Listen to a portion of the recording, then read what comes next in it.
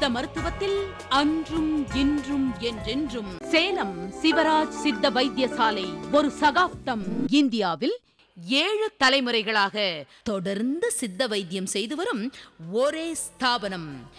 சேலம் சிவராஜ் சித்த வைத்தியசாலை மட்டுமே. இன்று சின்ன திரையை பார்த்து கொண்டிருக்கும் எனது அருமை பேர குழந்தைகளுக்கும் மகன் போன்ற வாலிபர்களுக்கும் என் உடன் பிறந்த சகோதரர்களுக்கும் சேலம் சிவராஜ் சித்த வைத்தியசாலையின் வணக்கத்தையும் நன்றியும் தெரிவித்துக் கொள்கிறோம்.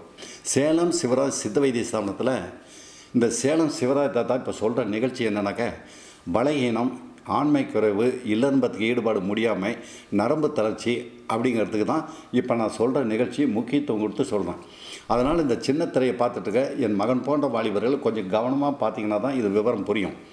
ஏன்னா ஆண்டவன் படைக்கும்போது உங்களை வந்து ஒவ்வொருத்தரையுமே பெண்ணாக இருந்தாலும் சரி ஆணாக இருந்தாலும் சரி குழந்தை பாக்கியத்தோட பேர் சொல்ல பிள்ளையோட தான் ஒவ்வொருத்தனும் ஆண்டவன் படைச்சிருக்கான். எப்படி படைச்சிருக்காரு ஆண்டவன்? பதிமூணு வயசில் விந்த உற்பத்தி பண்ணுறாரு இருபத்தஞ்சி வயசுக்குள்ளே சேர்த்தி வச்சுக்கங்கிறாரு. பதிமூணு வயசில் விந்து உற்பத்தி ஆகி இருபத்தஞ்சி வயசுன்னு சேர்த்தி வச்சுக்க இருபத்தஞ்சி வயசுன்னு சேர்த்தி வச்சுக்கிட்ட விந்து வந்து முப்பத்தஞ்சு வயசு நாற்பத்தஞ்சு வயசு ஐம்பத்தஞ்சு வயசு அறுபத்தஞ்சு வயசு அந்திம காலத்தில் உயிரோடு இருக்கிறவங்களும் நீயும் மனைவியும் சந்தோஷமாக இருந்துக்கிட்டு குழந்த குட்டிங்களை பேர பிள்ளைங்களை வளர்த்தக்கூடிய அளவுக்கு பண்ணி கொடுத்துருக்குறான் ஆண்டவன் ஆ? நீ கல்யாணம் கட்டிக்கிற கல்யாணம் கட்டிட்டு குழந்த பாக்கியம் கிடைக்குது குழந்தை பாக்கியத்தில் குழந்தைங்களை வளர்த்தி ஆளாக்கி அதுங்களை படிக்க வச்சு அதுங்களுக்கு திருமணம் பண்ணி அதுங்களுக்கு கல்யாணம் பண்ணி அதுங்களுக்கு குழந்த குட்டி பெற்று அறுபது அறுபத்தஞ்சு வயசில் நீயும் மனைவியும் சந்தோஷமாக கையை அப்படி கோத்துக்கிட்டு கோயில் குளம் போகக்கூடிய அளவுக்கு ஆண்டவன் கொடுத்துருக்குற விந்து கட்டுப்பாட்டை நீ என்ன பண்ணுற ஆ? ஆண்டவன் பதிமூணு வயசில் விந்தை உற்பத்தி பண்ணி இருபத்தஞ்சி வயசில் சேர்த்து வச்சுக்கங்கிற விந்தை நீ என்ன பண்ணுற உனக்கு விழிப்புணர்வு ஏற்படல. இதில் ஒரு விழிப்புணர்வு ஏற்படலைங்கிறதுனால கை பழக்கத்தில் தப்பு செய்கிறேன் தவறான பெண்ணுக்கிட்ட போகிறேன் தன்னோட வயசில் மூத்த பெண்ணுக்கிட்ட போகிற தூக்கத்தில் வெளியாகுது. சிறுநீரில் வெளியாகுது. மலத்தில் சக்தி வெளிப்படுத்துகிறேன் இந்த மாதிரி ரகத்தில் வெளிப்படுத்திக்கிட்டே வரும்போது முதல்ல வந்து உனக்கு ஒன்றுமே தெரியாது. எத்தனை முறை தப்பு செஞ்சாலும் ஒன்றும் தெரியாது. பின்னாடி தான் பாதிக்கும். ஆண்டவன் தலையை எழுதியிருக்கான் பேர் சொல்ல பிள்ளையோடு படிச்சிருக்கேன் பேர் சொல்ல பிள்ளையோடு படிச்சிருக்கேன்னு ஒவ்வொரு என்னுடைய மகன் போன்ற வாலிபர்களுக்கும் ஆண்டவன் சொல்கிறான் ஆனால் நீ வந்து அதை உதாசீனப்படுத்திட்டு இன்றைக்கி இருக்க காலகட்டத்தில் இந்த மாதிரி தப்பு பண்ணிக்கிட்டே வர. படித்தவனும் தப்பு பண்ணுறான் கோடீஸ்வரம் மூட்டு பையனும் தப்பு பண்ணுறான் விவசாயம் பண்ணுறவனும் தப்பு பண்ணுறான் என்ன பண்ண முடியும்? ஏன்னா விழிப்புணர்வு இல்லைங்கிறதுனால. அதனால் உங்களுக்கெல்லாம் விழிப்புணர்வு ஏற்படணும் அப்படிங்கிறதுக்காக தான் சேலம் சிவராய் தாத்தா இந்த எழுபத்தாறு வயசில் இந்த நிகழ்ச்சி சொல்கிறேன் அதனால் கவனமாக கேட்டுங்க. இது ஒரு படிப்பினை உங்களுக்கு இன்றைக்கெல்லாம் நாளைக்கெல்லாம் இன்னும் நூறு வருஷம் ஆனாலும் சேலம் சிவராஜ் தாத்தனோட இந்த வார்த்தைகள் உங்களுக்கு ஒரு படிப்பணியாக அமையும். இப்போ இந்த விந்து கட்டுப்பாடு இல்லை விந்து கட்டுப்பாடு இல்லைங்கிறன்னு இல்லை. எதுக்காக சொல்ல வரேன்னா அதனுடைய விவரத்தை இப்போ கவனமாக கேளுங்க. ஒரு பையன் பதிமூணு வயசுலேருந்து இருபது வயசுக்குள்ளே என்ன பண்ணுறான் இந்த கை பழக்கத்தில் செய்கிறத ஏதோ ஒரு காரண கற்றுக்குறான் ஒரு பையன் பத்து பையனை தயார் பண்ணலாம் பத்து பையன் நூறு பேர் ஆகுது. நூறு பேர் ஆயிரம் லட்சம் இப்படி போயிட்டுருக்குற இந்த நேரத்தில் இப்படி தான் நடந்துக்கிட்டு இருக்கு அப்போ அந்த மாதிரி விந்த செலவு பண்ணும்போது யோசனை பண்ணி பார்த்தீங்கன்னாக்கா ஒரு வருஷம் தப்பு செய்கிறான் ரெண்டு வருஷம் தப்பு செய்கிறான் ரெண்டு வருஷம் தப்பு பண்ணும்போது படைச்ச ஆண்டவன் என்ன சொல்கிறான் உங்களை படைச்ச ஆண்டவன் டே கண்ணு திருந்திக்கடா திருந்திக்கடா இது விலை மதிக்க முடியாதது விந்து கட்டுப்பாடுங்கிறது விலை மதிக்க முடியாதது விந்துங்கிறது பார்த்தீங்கன்னாக்க நீ நிறைய சக்தியை வீண் பண்ணி பாதிக்கப்பட்டுட்டீன்னா உனக்கு விந்து குறைஞ்சி போச்சுன்னா உங்கள் அப்பா அம்மாட்ட போய் நீ ஏசவன் கேட்டு வாங்க முடியுமா? சொல்லு ஏசவன் கேட்டு வாங்க முடியுமா? ஆ? இல்லை மருத்துவர்கிட்ட போய் சிகிச்சை பண்ணும்போது அவர் தான் கொடு அப்படின்னா அவர் கொடுக்க முடியுமா? இல்லை விலைக்கு எங்கேயாவது விற்கினா எவ்வளோ பணத்தை வேணுமானு செலவு பண்ணி வாங்கலாம். வாங்க முடியுமா விந்து கட்டுப்பாட்டை? ஆ? யோஜனை பண்ணுடா யோஜனை பண்ணுடான்னு சொல்கிறோம் இப்போ பெத்த தாய் இருக்கான்னு வச்சுக்க. பெத்த தாயை கையெடுத்து கும்பிட்டு நம்ம வணங்குறோம். தினசரி கும்பிடுறோம் பெத்த தாயை. ஆ? அது வந்து நமக்கு தெய்வம் மாதிரி. அதே மாதிரி தான் இந்த விந்து கட்டுப்பாடுங்கிறது உன் வாழ்க்கையில் நீ தமிழ் உலகத்தில் பிறந்து வளர்ந்து ஆளாகி நீ கடைசி மடிகிற காலம் வரலும் உன்னை நல்ல முறையில் செலுத்தி கொண்டு போகிறது வந்து இந்த விந்து கட்டுப்பாடு. அது விவரம் தெரியாமல் அடிச்சிடுற. இல்லையா? அப்போ தான் ஆண்டவன் என்ன சொல்கிறான் திருத்த ஆரம்பிக்கிறான். உன்னை கண்ட்ரோல் பண்ண முடியல திருத்தத்துக்கு அறிகுறி காட்டணும் நீ ஒரு வருஷம் தப்பு பண்ணுற ரெண்டு வருஷம் தப்பு பண்ணுற கை பழத்தில் எந்த விதத்துலேயே தப்பு பண்ணுறேன்னு வச்சுக்க. தப்பு பண்ணும்போது நீ கண்ணாடியில் போய் பார்ப்பேன் கண்ணாடி முன்னி பார்த்தீங்கன்னா அட்டாட்டா டாட்டா பிரமாதமாக வளர்ந்துருக்குமே. உடம்பு உடம்பு இப்படி இருக்கே அப்படின்னு சொல்லி சந்தோஷப்படுவேன். உண்மையாலுமே நான் பிறந்து வளர்ந்த என்னுடைய தமிழ்நாட்டில் உள்ள எனது மகன் போன்ற வாலிபர்கள் அவ்வளோ பேருமே பார்த்தீங்கன்னா அற்புதமான உயரத்தில் இருப்பானுங்க.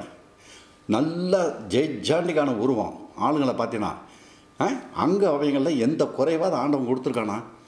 எந்த குறையுமே கொடுக்கல. அப்படியே ஒரு ம ஒரு மகன் போன்ற வாலிபர்கள் அப்படியே நடந்து வந்தானா அப்படியே தேர் அசைஞ்சு வர மாதிரி பார்க்கறதுக்கு கண்கொள்ளா காட்சியாக இருக்கும் கண்கொள்ளா காட்சியாக இருக்கும். அந்த அளவுக்கு அவனுங்க வருவானுங்க. அவன் கன்னத்தை பார்க்கும்போது பார்த்தீங்கன்னா தமிழ்நாட்டில் உள்ள என் மகன் போன்ற வாலிபர்களுடைய கண்ணத்தை பார்த்தீங்கன்னா அப்படியே சும்மா தலை தலை தலை தலை தலன்னு அப்படியே தக்காளி பழம் மாதிரி இருக்கும். அப்படி கடிச்சு திங்கிற மாதிரி இருக்கும். அந்த மாதிரி இருக்க பசங்க தான் இன்றைக்கி வந்து இந்த மாதிரி வேஸ்ட் பண்ணிக்கிட்டே இருக்காங்க ரெண்டு வருஷமாக அப்போ ஆண்டவன் என்ன சொல்கிறாரு நீ தப்பு செஞ்சுக்கிட்டே வர ரெண்டு வருஷம் செஞ்சுட்ட இப்போ திருத்துறாரு உன்னை. டே இந்த பாதிப்பில் உனக்கு அறிகுறி காட்டுறேன். உன் உடம்புல நீ தப்பு செஞ்சதனுடைய அறிகுறி காட்டுறேன். திருந்திக்கடா திருந்திக்கடா திருந்திக்கடான்னு அறிகுறி காட்டுறாரு. எப்படி காட்டுறாரு? முதல்ல நீ ஆரம்பிக்கும் போது விந்த வேஸ்ட் பண்ணும்போதே கை கால் அசரிக்கை காட்டுறாரு. ஞாபக சக்தியை குறைக்கிறாரு. தலை மயக்கம் வருது. தன்னைத்தானே நம்பக்கூடிய அளவு சக்தி கொடுக்கல. எதில் எடுத்தாலும் சந்தேக எண்ணங்கள் சின்ன உதாரணம் நீ வீட்டை பூட்டிட்டு போகிறேன்னு வச்சுக்க. பூட்டினமான்னு உனக்கே சந்தேகம். அந்த அளவு ஞாபக சக்தி அப்படியே படிப்படியாக படிப்படியாக படிப்படியாக குறைச்சிட்டு வருவார். அப்போ நீ திருந்திக்கிடா திருந்திக்கிடான்னு சொல்கிறாரு நீ உதாசீனப்படுத்திடுவேன் இந்த அறிகுறியெல்லாம் பார்த்துட்டு அட போய் இது ஏதோ ஒரு அறிகுறி இருக்குது அப்படி இருக்குது இப்படி இருக்குன்னு உதாசீனப்படுத்திட்டு போயிட்டே இருப்பேன். அப்போ மூணு வருஷம் நாலு வருஷம் ஆகிப்படும். நீ கை பழக்கத்தில் செஞ்சுக்கிட்டு தப்பு செஞ்சுட்டு விந்த வேஸ்டே பண்ணிட்டு வரும்போது. நாலு வருஷம் வரும்போது என்னாகும்? அறிகுறி காட்டுவார். திருந்திக்கிடாக்கன்னு இது முதல் முறை காட்டினேன் திருந்தலை. இப்போ ரெண்டாவது முறை உனக்கு எச்சரிக்கை பண்ணுறேன் திருந்திக்கடா அப்படின்னு சொல்லிட்டு இந்த கழுத்துக்கு மேல் பகுதியும் இடுப்புக்கு கீழ் குருத்தும் வழி கொடுப்பார்.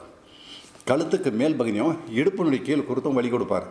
அந்த வழி வரும்போது திருந்திக்கடா திருந்திக்கடான்னு அந்த எச்சரிக்கை காட்டுவார்.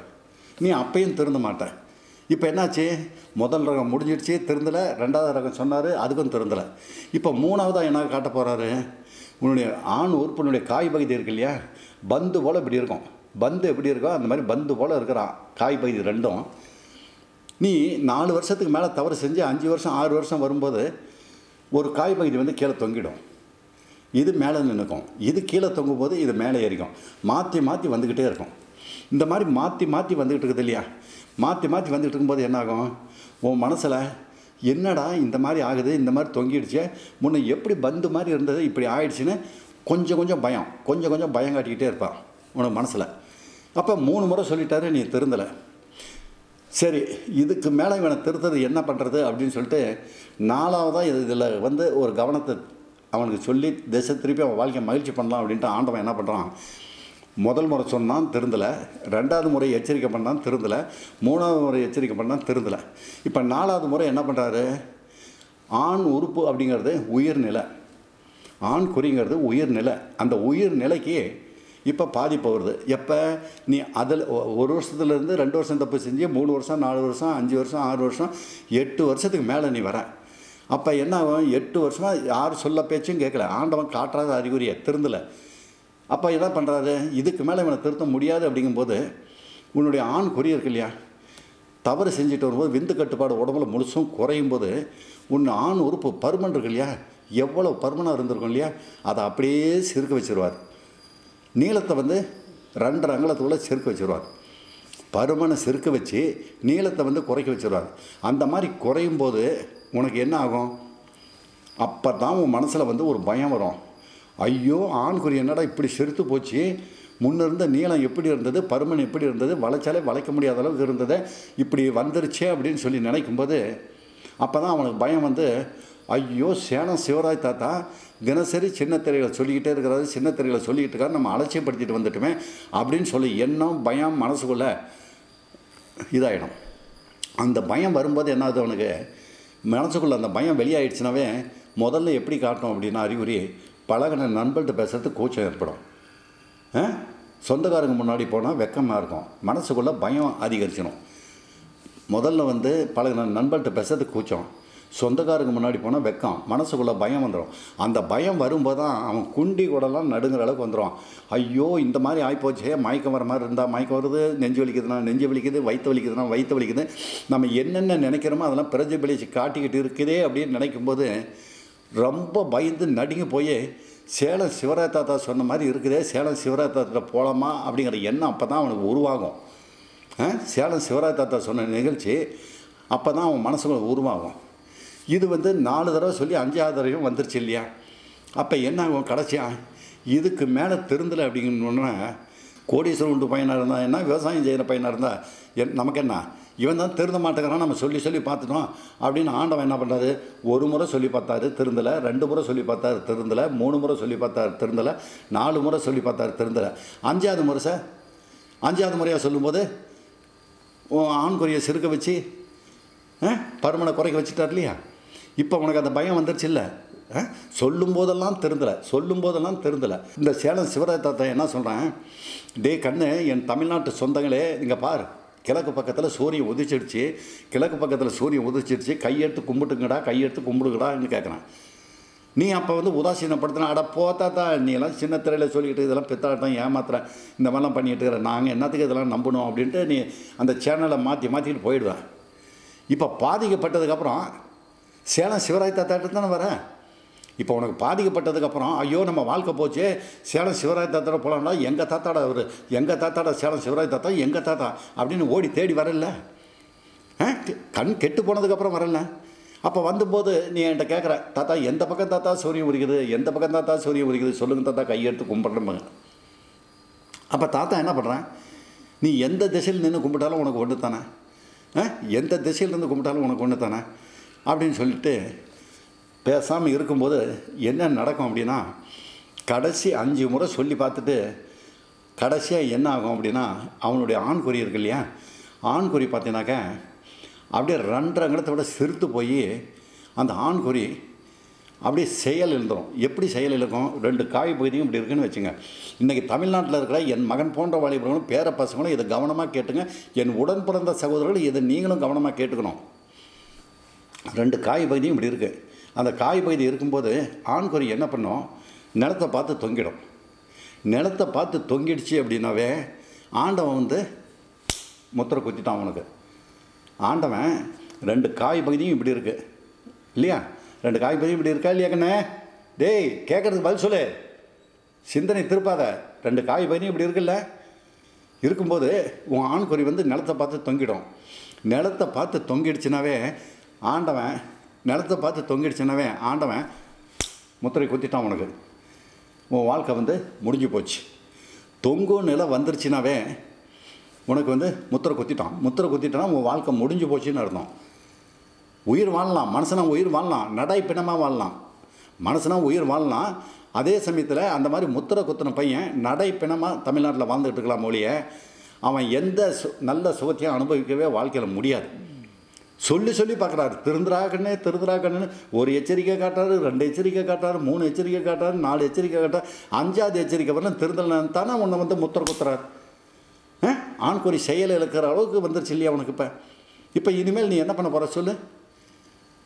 இந்த மாதிரி வந்த பையன் தமிழ்நாட்டில் இன்றைக்கி நான் வணங்கும் ஆஞ்சநேயர் சித்தமா இந்த எழுபத்தாறு வயசில் இந்த நிகழ்ச்சி தாத்தா சொல்ல வேண்டிய அவசியம் இல்லை. ஆனால் இந்த சித்த வைத்தியத்தில் பாரம்பரியமாக செஞ்சுட்டு இருக்கிற சித்த வைத்தியத்தில் சித்த வைத்தியத்தில் பதினெட்டு சித்தர்களும் ஞானிகளுக்கும் சொ அடுத்தது இதை சொல்லக்கூடிய தகுதி தமிழ்நாட்டில் எனக்கு மட்டும்தான் இருக்குது அப்படிங்கிறத சொல்லிவிட்டு இந்த விளக்கத்தை சொல்கிறேன் இப்போ ஆண்குறி உனக்கு தொங்கி போச்சு. தொங்கினதுக்கப்புறம் உன்னுடைய வாழ்க்கையை என்ன பண்ணுவ? சொல்லு.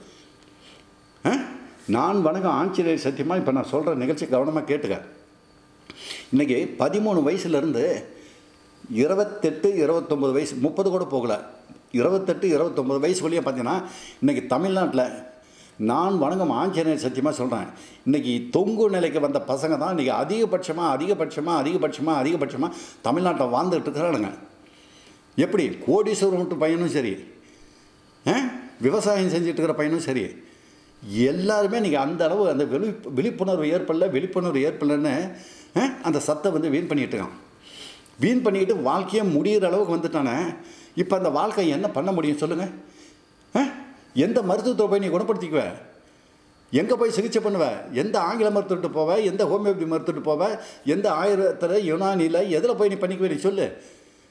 அதே செயலிருந்து போய் செ- இறந்த நிலைக்கு போயிடுச்சு. செயலிருந்து இறந்த நிலைக்கு போயிடுச்சு. பதிமூணு வயசுலேருந்து மு முப்பது வயசுக்கு முன்னாடியே நீங்கள் வாழ்க்கையை இந்த மாதிரி வீண் பண்ணிட்டு வரீங்களே இப்போ உங்கள் வாழ்க்கை எப்படிடா இருக்கும்? ஆ எப்படி இருக்கும் சொல்லு. பைத்தியக்காரனுங்க பைத்தியக்காரனுங்க முட்டாள்தனமாக செய்யலைங்க ஆ?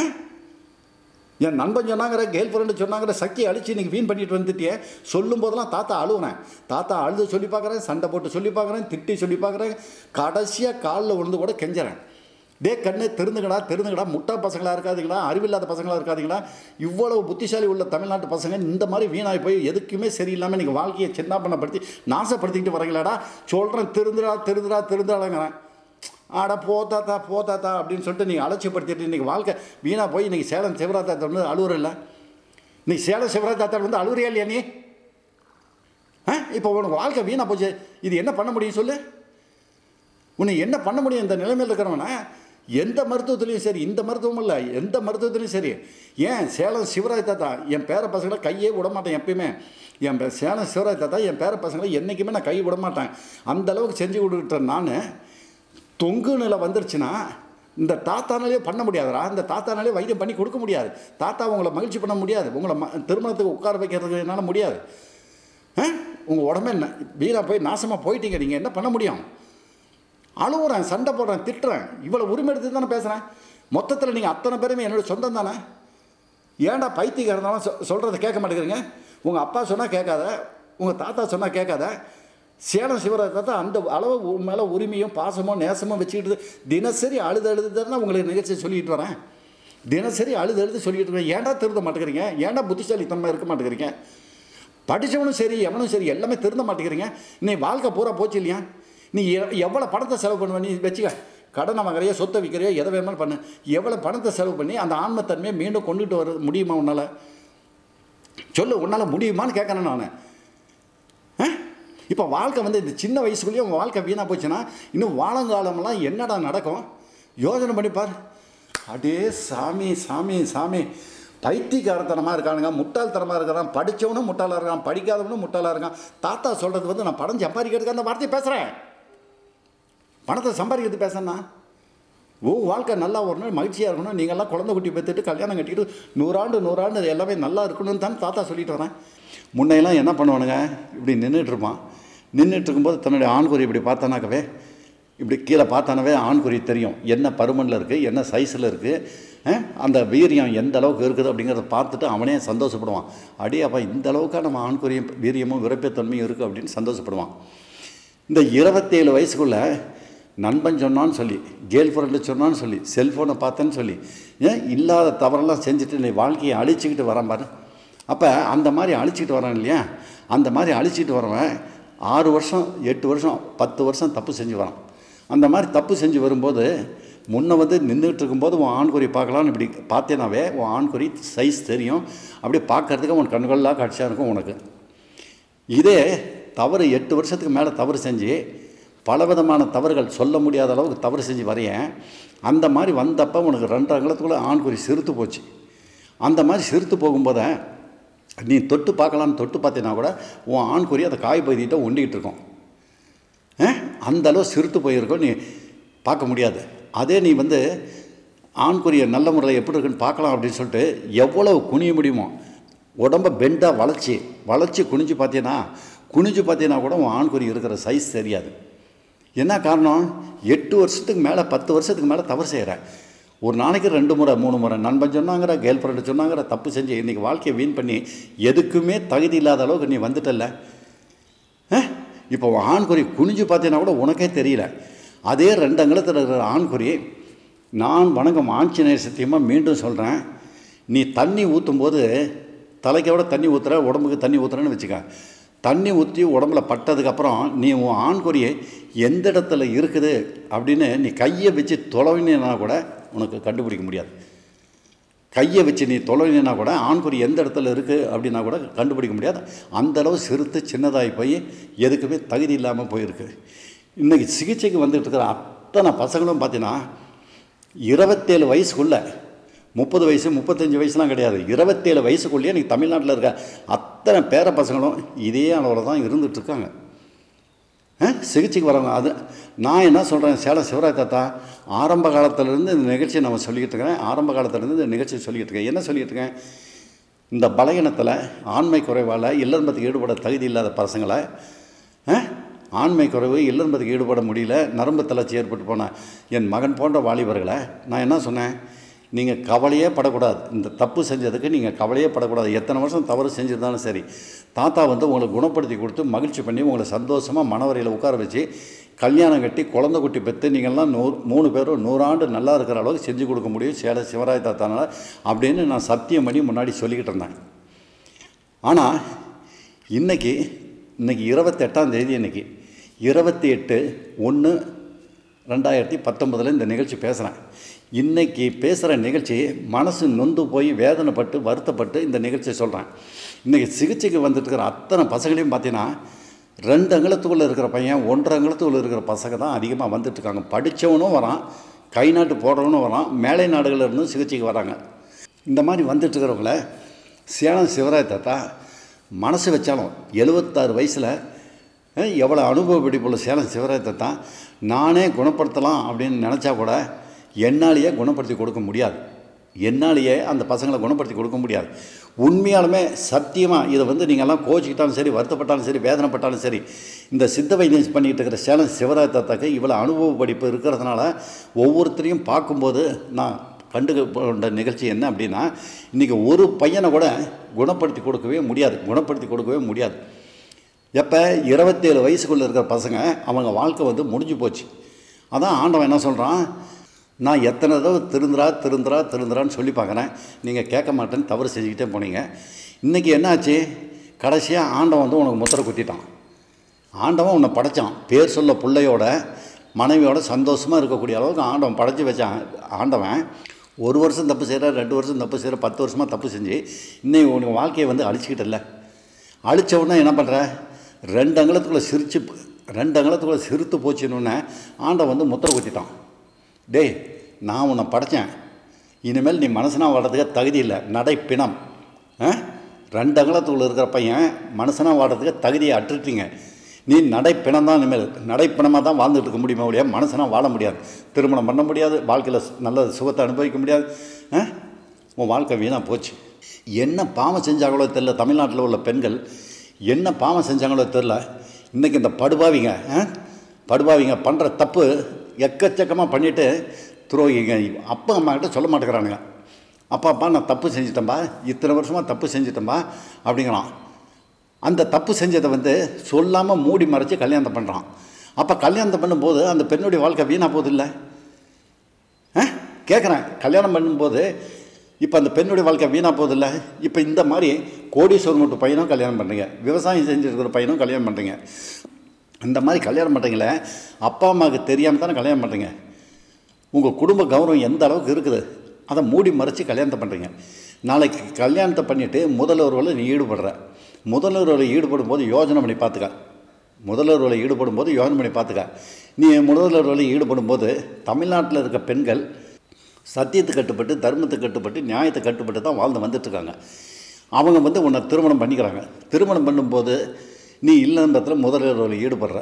ஈடுபடும் போது நீ அந்த பெண்ணை வந்து திருப்திப்படுத்துறன்னு வச்சுக்க. முன்னையெல்லாம் என்ன நடக்கும்? பத்து வருஷம் பதினஞ்சு வருஷத்துக்கு முன்னாடி கணவன் வந்து இல்லன்பத்தில் ஈடுபடுறதுக்கு தகுதி இல்லை அப்படின்னா அதை மூடி மறைச்சி பெண்ணை வந்து என்ன சொல்லுவான்? ஏதோ ஒரு காரண காரியங்கள் கற்பிச்சு இந்த பெண்ணு தப்பானவ அப்படின்னு சொல்லி மாதிரி வெளியே அனுப்பிச்சிடுவான் இன்றைக்கி பெண்கள் வந்து அந்தளவுக்கு மோசம் இல்லை. பெண்கள் என்ன பண்ணுறாங்க முதல்வரோடு நீ ஈடுபடுற. ஈடுபடும் போது சரியான முறையில் நீ திருப்திப்படுத்தலைன்னு வச்சுக்க. ஏன்னா அந்த பெண்ணுக்குன்னு ஒரு மனசு இருக்குதுல்ல. கணவன் இந்த சுகத்தை அனுபவிக்கலாம் இப்படி இருக்கலாம் வாழ்க்கை இந்த அளவுக்கு மகிழ்ச்சியாக இருக்கும்னு நினச்சிட்டு வர பெண்ணு நீ ஒரு முறை கூட இல்லறத்தில் ஈடுபட தகுதி இல்லை அப்படின்னா உடனே அந்த மகள் போன்ற தெய்வம் என்ன கேட்கும் தெரியுமா உன்ன? டேய் டேய் டேய் எந்தர்றா எந்தடா ஏன்டா படுத்துட்டு இருக்கேன் எந்தர்றா முதல்ல. அப்படின்னு எடுத்தோன்னு சொல்லுவான் உன்னை. எப்போ?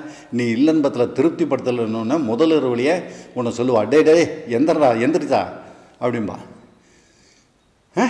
நீ என்ன பண்ணுவ? உன்னாலேயே இல்லன்பத்தில் ஈடுபட தகுதி இல்லை. ஒரு பெண்ணை திருப்திப்படுத்தக்கூடிய அளவுக்கு தகுதி இல்லைங்கும்போது வெக்கங்கட்டு எதுக்கடா அழுவுற? ஆ? வெக்கங்கட்டு எதுக்கு அழுவுற நீ? நீ ஆம்பளை பையன் தானே? அழுவலாமா? வெக்கமா இல்லை? வேதனையா இல்லை?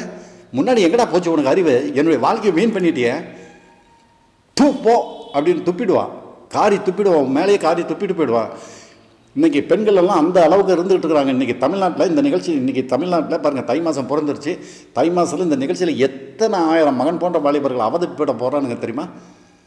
பெண்கள் அத்தனை பெண்களுக்கும் வாழ்க்கை இல்லாமல் போகுது. இன்றைக்கி யோஜனை பண்ணிப்பார் பைத்தியக்காரனாக இருக்கிற படித்தவன் இருக்கிற என்ன சொல்கிறது உங்களுக்கெல்லாம் சொல்லு. என்ன சொல்கிறது உங்களையெல்லாம் முன்ன ஒரு காலத்தில் சொன்னேன். என்ன சொன்னேன்? என் தமிழ்நாட்டு வாலிபர்களை அடிச்சுக்கிட்டு உலக நாடுகளே ஆள் இல்லை ஆள் இல்லைன்னு சொல்லிட்டு இருந்தேன் நான். பெருமைப்பட்டுக்கிட்டு இருந்தேன் நான். இன்றைக்கி ஒரு பெண்ணு வந்து சீ போடா நீலாம் மனுஷனாடா. எந்தரா எந்தரா முத வெளியே போடா நீ ஊட்ட விட்டு. அப்படின்னு சொல்லக்கூடிய அளவுக்கு நீங்கள் கலாச்சாரத்தை மாற்றி கொண்டு வந்துட்டீங்களே. படித்தவனும் சரி கை நாட்டு போடுறவனும் சரி என்னடா இதெல்லாம் ஒரு கலாச்சாரம்?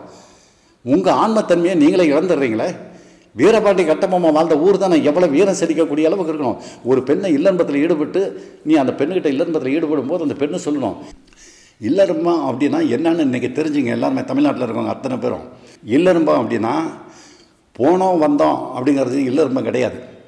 நீ அந்த பெண்ணுக்கிட்ட இல்லன்பத்தில் ஈடுபடும் போது அதிக நேரம் நீ இல்லம்பத்தில் ஈடுபட்டுக்கிட்டே இருக்கிற.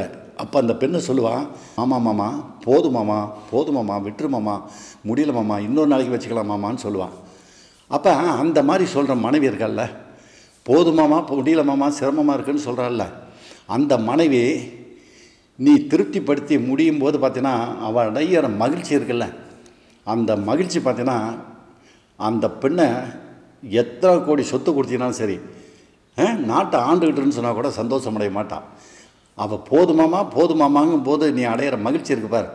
உன்னை இமயமலை சிகரத்தை விட உயரமான சிகரத்தில் ஏற்றி உட்கார வச்சிரும்.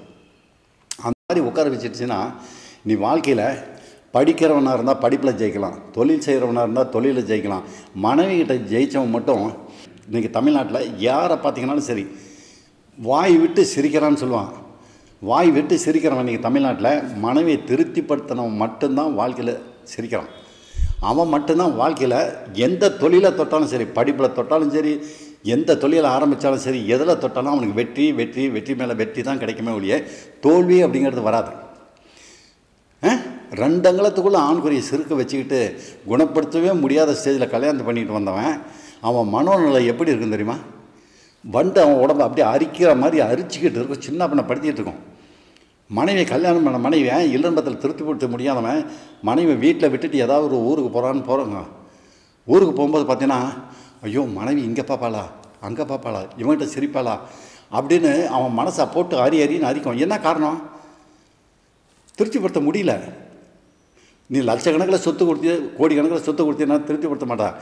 ஆண் மகன் ஆண் மகனாகவே வாழ்ந்தால் தான் வாழ்க்கையில் வெற்றி அடைய முடியுமோ ஒழிய அரை மனிதனாக வாழ்ந்தா வாழவே முடியாது மனுஷன்.